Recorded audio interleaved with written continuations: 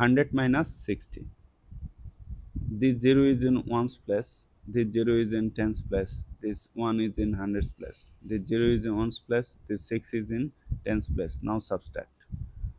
If you subtract if you take a 0 from 0 you will have 0 if you subtract 6 from 0 actually you cannot take away 6 from 0 so you need to borrow. Go to next column if you borrow 100 then you will have 0 100 100 equal to 10 tens.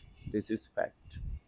Now subtract. Take away 6 from 10 you have 4 so that is your result is 40